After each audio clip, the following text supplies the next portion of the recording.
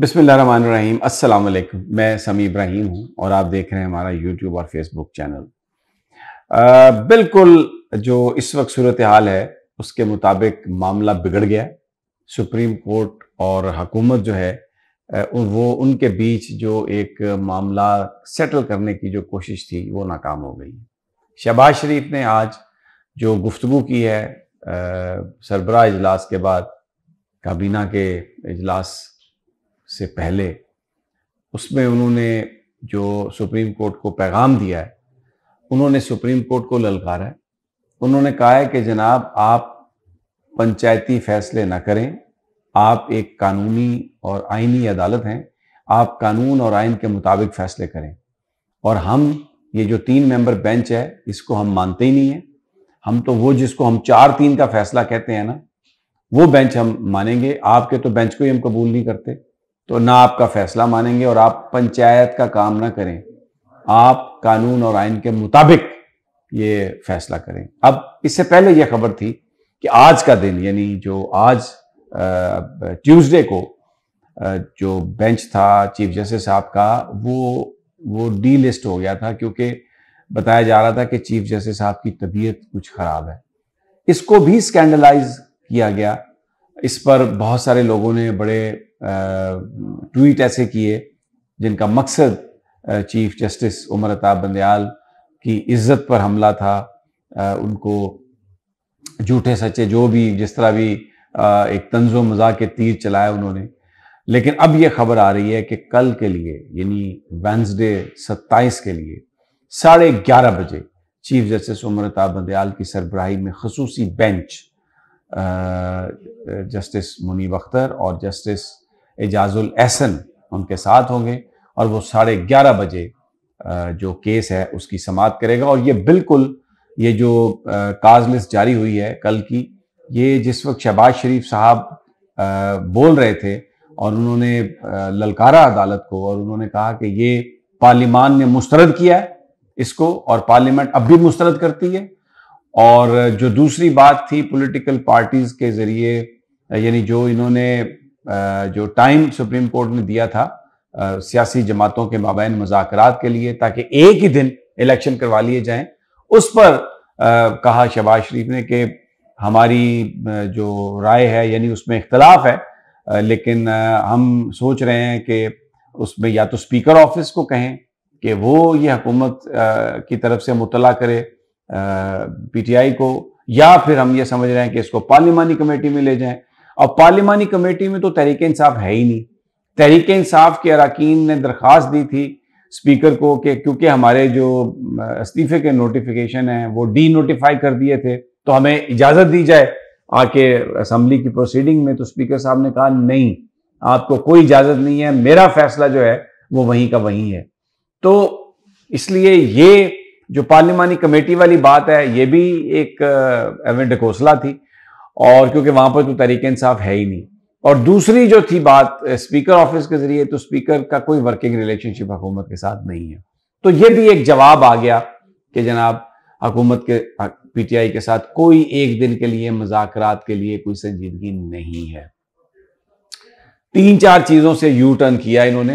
एक तो ये कि जब ये तीन मेंबर बेंच के सामने पेश हुए अटॉर्नी जनरल साहब आए फारूक एच नाइक साहब आए और बेसिकली मजाकरात के लिए टाइम अटर्नी जनरल साहब ने मांगा था। यानी ये जो मैं आपको बात बता रहा हूँ, सुप्रीम कोर्ट ने कोई पंचायत का काम नहीं किया।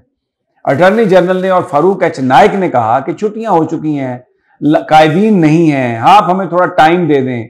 हम चाहते हैं मजाकरात हो। फिर यह भी बताया गया कि जो असद कैसर साहब हैं, उनके साथ मुस्लिम लीग नून के लोगों की अयाज सादक की और ख्वाजा साद रफीक की एक बात भी हुई है। ये भी बताया गया कि 26 तारीख को असद कैसर साहब के साथ दोबारा मुलाकात होगी।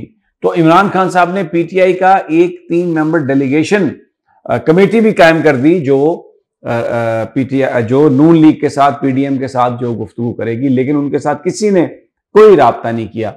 और आज उस वक्त उन्होंने बेंच माना प्रोसीडिंग में अटॉर्नी जनरल और फारूक एच नायक शरीक हुए। टाइम मांगा इसी बेंच से। इन्होंने 27 तक का टाइम दिया।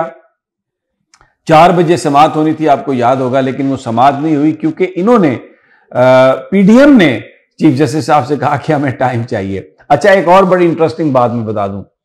अगर आप थोड़ा और पीछे चले जाएँ तो जो शुरू में जो इस्तदा आई थी पीडीएम की तरफ़ से पंजाब असम्बली तोड़ने के खिलाफ जिसमें अतर मिनुल्ला साहब ने वो जो पहले दिन की हेयरिंग हुई थी ये कहा था कि क्या भी हमें देखना होगा कि क्या जो स्पीकर साहब ने जो एक्सरसाइज किया, वो इंडिपेंडेंटली किया या उसमें वो बातें आ रही थी कि इमरान खान साहब ने कहा कि आप असम्बली तोड़ दें।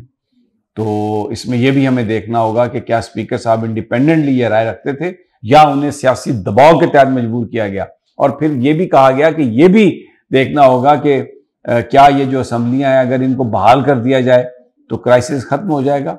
और उस मौके पर सबसे पहले ये जस्टिस मंसूर अली शाह थे जिन्होंने ये बात कही थी कि मेरे जहन में ये एक पंचायती ख्याल आया कि ये गुफ्तगु और ये सारा असम्बली बहाल कर दी जाए और ये।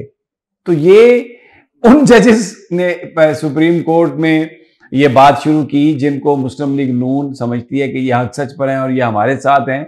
मंसूर अली शाह साहब ने सबसे पहले ये बात शुरू की। चीफ जस्टिस साहब ने मंसूर अली शाह साहब की बात को आगे बढ़ाया, लेकिन पीडीएम ने न सिर्फ़ इस तीन मेंबर बेंच बेंच को कबूल किया बल्कि उसके बाद ये इस्तदा की कि ईद की छुट्टियाँ हैं तो आप इसको बढ़ा दें, आगे हम मजाकरात करना चाह रहे हैं। उस वक्त भी लोगों का ख्याल था कि ये चक्कर दे रहे हैं। और आज तो बिल्कुल जो शहबाज शरीफ की जो गुफ्तगु है उसमें उन्होंने सुप्रीम कोर्ट से कहा है कि छोड़ें आप ये पंचायत और ये जो आप हमें कह रहे हैं कि हम मजाकरात करें, ये करें, आप आप अदालत हैं, कानून के मुताबिक फैसला करें। अब तो जनाब, कल एक बड़ा दिन है इसलिए कि दो तीन चीज़ें हैं। सत्ताईस तारीख को फंड्स ट्रांसफ़र होने थे। चीफ जस्टिस साहब ने अटर्नी जनरल साहब से कहा था कि ये जो आप सुप्रीम कोर्ट के अहकाम नहीं मान रहे, इसके कंसिक्वेंसेज होंगे, आप हुकूमत को बता दीजिए। अब जनाब, कल एक तो फंड्स जो हैं, अभी शहबाज शरीफ साहब ने गुफ्तु कर दी है। उन्होंने कहा जी कि हम फंड्स नहीं देंगे।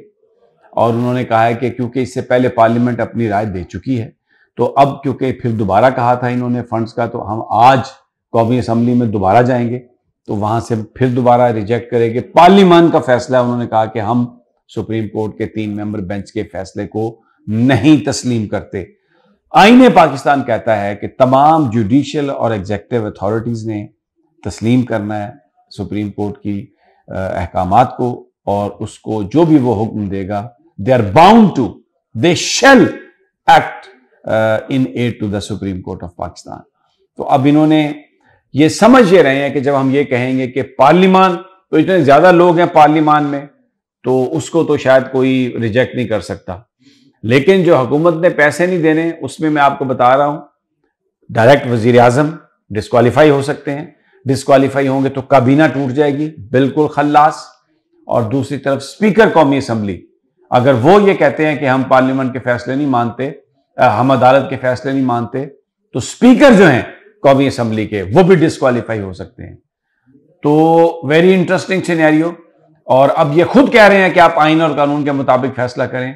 तो आइन और कानून के मुताबिक तो जो सुप्रीम कोर्ट का फैसला नहीं मानता तोहन अदालत है, एब्रोगेशन है, और उसकी एक सजा है, और सुप्रीम कोर्ट अपने फैसले में कह चुकी है कि वो सब कुछ सेटल्ड है। अगली वीडियो तक मुझे इजाज़त दीजिए, इंशाल्लाह जल्द मुलाकात होगी। अल्लाह निगमा